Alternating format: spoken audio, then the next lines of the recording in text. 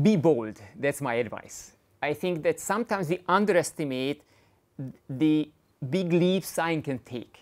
So I think we have to address major medical issues and work, work hard and, work, and, and, and, uh, and work hard to achieve them.